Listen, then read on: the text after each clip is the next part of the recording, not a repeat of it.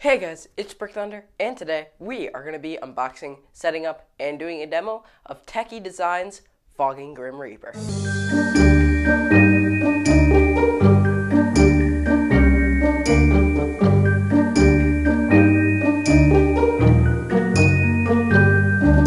Okay, so here he is, Fogging Grim Reaper. This is one I've wanted for a very long time, but I thought he was out of stock everywhere. I could not find him uh, until I found out Party City was still selling him online. So he just came about 10 minutes ago, and I'm already unboxing him here. Super excited about this one. This is definitely one of my favorite Tekky props of all time. I love the motion this guy has and also the just fog effect. I love Harvester of Souls for that, and I love this guy for the same reason. With the fog coming out of the mouth, it looks awesome. So, let's get straight into the unboxing. Here we go. All right, let's get straight into the unboxing. So, let's tilt this so you guys can see what's going on here. Uh, you can't really recognize too much just yet. Uh, first thing is just the adapter box right on top here. Now, let's see what we can get out. Hopefully we can get this big mech piece out. Uh, looks like we should be able to, but there are some uh, twist ties. So, let's just take these twist ties off real quick. Alright, we got the twist ties off. And here is the main mech piece with control box. This thing is pretty crazy, actually. Uh, now, he has some of the most turning I've ever seen on an animatronic. This thing turns like a full 90 degrees, and that's because of how huge this arm piece is. Uh, so that is really cool. I definitely like that a lot. Now, the next thing we're actually going to do is tilt this box over because uh, the rest is actually zip tied to the box itself. So it's definitely easier just to do this, where we tilt it over and get our inside box out. Got the box out here. Now we can move this aside. And let's take a look what we have in here. All right, so first thing here, fog tube. Good thing they include that. Next, we have, let's see what we can access. We do have the head here, but it looks like it is also twist tied to the box. So what I'm going to do is get all this untwist tied and out, and we're going to lay it all out and show all the parts. Here we go. All right, so here we have all of our parts laid out, and there are actually a surprising amount. So we have the main mech with control box, adapter in box, two pieces for the base, the clothing plus the plastic forming hunchback, the awesome face, which will show up close here. Looks great, very big head. The two hands, the hunchback metal piece, tons of poles right there, the two arms, and all of our fog accessories. Let's get to the setup. Alright, let's begin our setup. So we have the instructions right here, uh, and I did assemble the base already. It's just the two parts connecting, but for some reason mine was a bit bent, so I did that off camera, but here we are. Uh, let's attach our poles. So our first two up here are labeled C, so we're connecting C to C. Snap lock that in. Here's our other C pole right here. Uh, and actually, no, here's the C pole. The other one is labeled G. So the G one goes in back over here, connecting G to G. So once we have this snap locked in, like that, we can head on to our next set of poles, which connects all the rest of the letters. So if you're looking at the top, this one is labeled D, so we're going to connect D to D up here. And then over here, this one is also labeled D, so we're going to connect this one right here. And then our back one is labeled H. So our H pole, let's find that. Here it is. And we're going to attach this right here. So we're already getting a bit high up. So we're going to pause, move the camera up, and continue on. Here we go. All right, let's connect the rest of our poles. So we have E right here. E's going in front right here. And now uh, our next one is also E, and then we're moving to I. So I is right here in the back. Snap lock this in. There we go. This guy is extremely tall. This is much taller than I thought. I've never actually seen him on in person, although I have seen him through the window of a Halloween city. Uh, I haven't seen him like up close. So yeah, this is definitely bigger than I was expecting. With Harvester, the actual triangle piece that connects to this is much lower, more like here instead of way up here. Uh, so that's where the mech is, all the way up there. So, and that is actually our next step. So let's take this. This goes in front, I'm guessing the control box is, but we can also check our stickers, labeled F. F is, let's see, F is actually this one. So it would be kind of in the side. So there we go. There's one, there's two, and let's get our third one on here. Uh, and then they all kind of just slide down and snap lock in place. One, two, and three. And then we can just slide the whole thing down till it clicks into all of them. Right there. So there we go. It is already very tall. Uh, and our next piece is huge too. So that makes it even taller. So let's actually attach that piece. Uh, it looks like uh, actually, it looks like we're to get the clothing over this first. So I'm to get the clothing over this first off camera because uh, we're just draping it over and that saves time. But then our next piece is this huge spine piece. And this is to add even more height up here. So he's a very tall prop. I'd say more like almost eight feet than just seven. So super cool to see that kind of size. Let's get on to the next part. Here we go.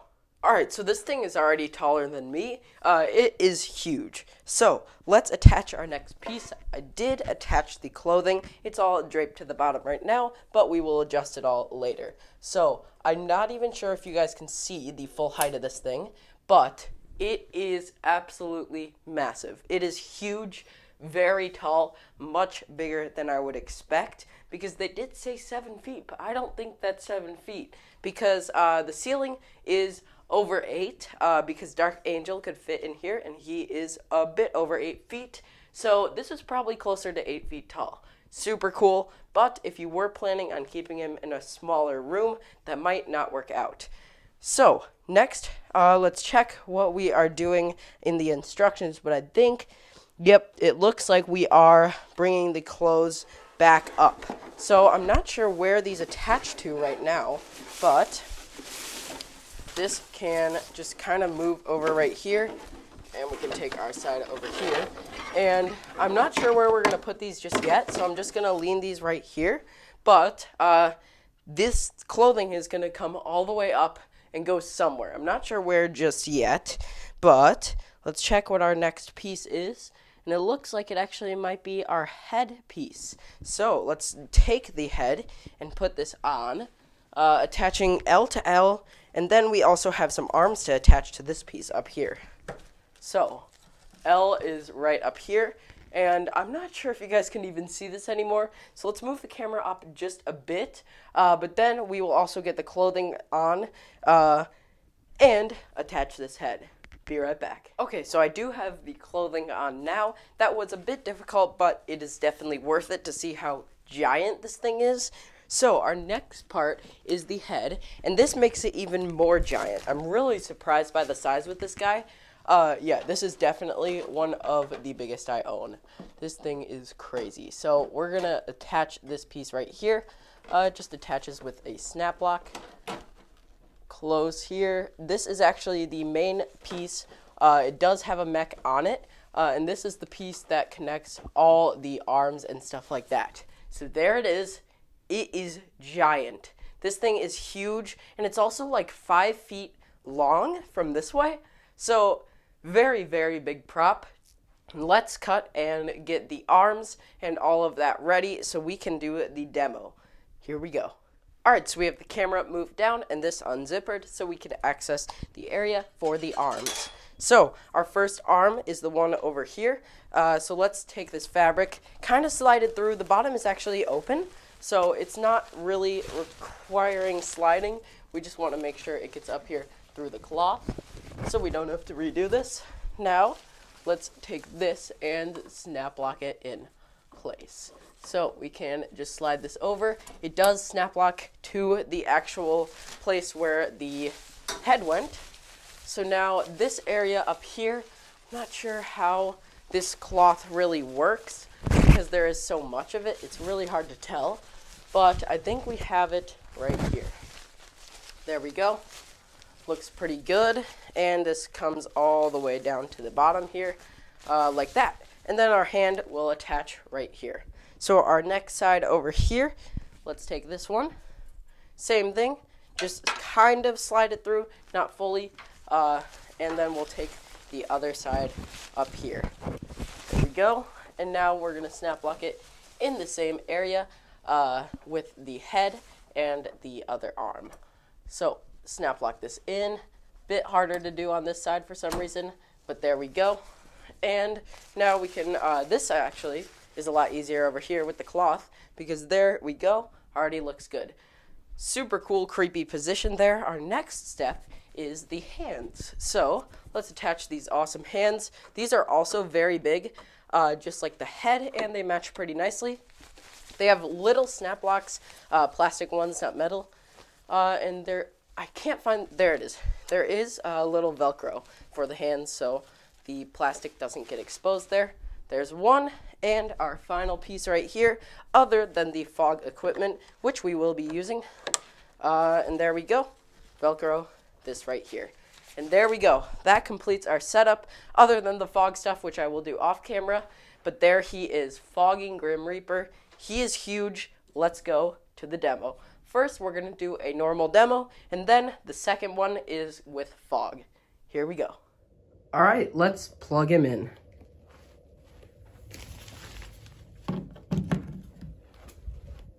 Our first demo here is just normal, and then we will go to the fog.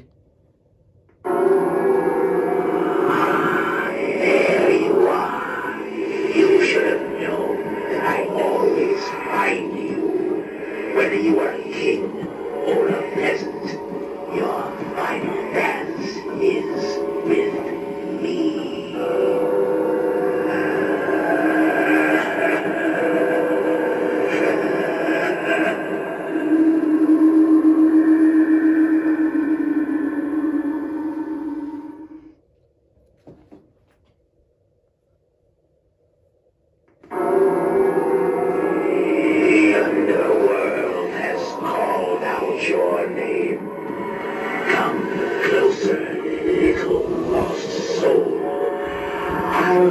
taking you to your final resting place.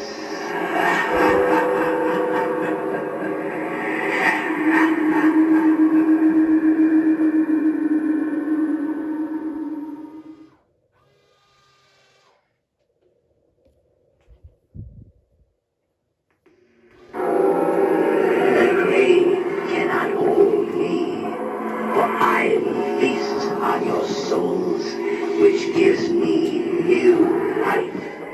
Death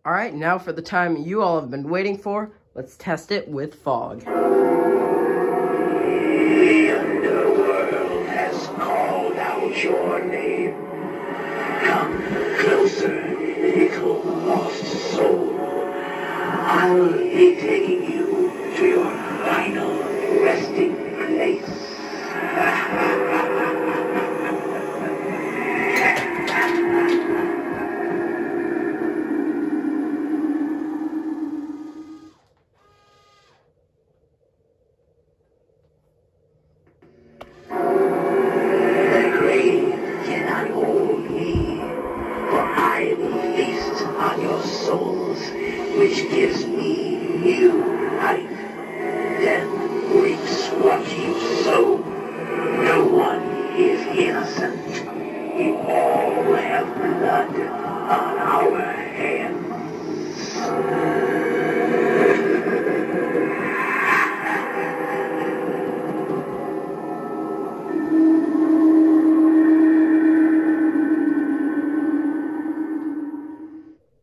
All right, so that was the Fogging Grim Reaper by Tekky Design. He is so cool. Got him partycity.com. Definitely recommend this one. They actually delivered him within one day from the order, so super happy about that. But yeah, this guy is incredible. I got him for 220 because Party City actually has a 15% off at all time.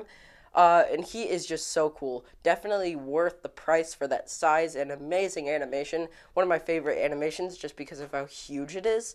And then also the fog add-on is great. Doesn't include the fog machine, but includes everything else to get it all connected. Alright, so there he is, Fogging Grim Reaper. Definitely recommend this one. Thank you guys for watching. I'll see you guys in the next video. Bye.